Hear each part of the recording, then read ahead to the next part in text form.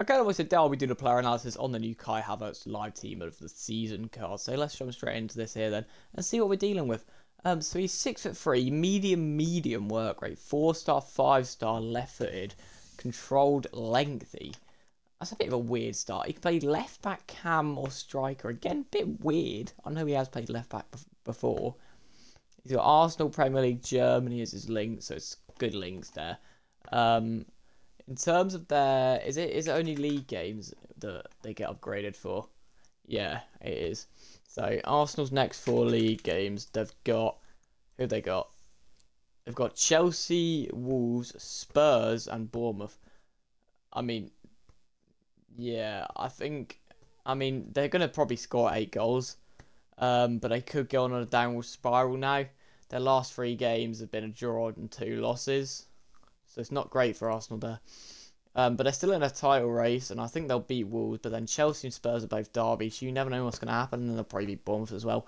But there's definitely going to be. I reckon he'll definitely get that gold one, and I reckon he'll probably get the double upgrade there as well. But let's have a look at his stats then. So we've got 94 pace, 8, 90 acceleration, 98 sprint speed, so almost perfect pace there.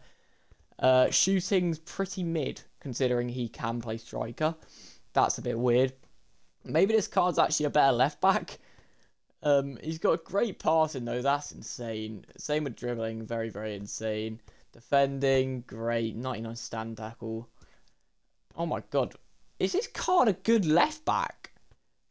Slap an anchor on him. I reckon he's a banging left back. I mean, he's six foot three at the end of the day, so uh, this is just a weird card to be fair. Finesse shot plus chip shot, ping pass plus long ball pass, whip pass, Bruiser, First Touch, Technical Plus. Runs a free playstyle pluses now, by the way. Trivela and Aerial. This is mental. What is this card? I'm so confused. It's 10 squads. It's such a weird card. It's an 85 team week, 87 team week, 87 team week, 87 team week, 88, 89, 89, 89, 90, and 90. So very, very expensive for quite a weird card. I don't, I, I really don't know what to think, boys.